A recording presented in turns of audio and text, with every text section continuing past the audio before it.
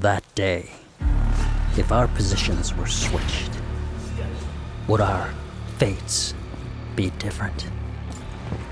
Would I have your life and you mine? You a demon?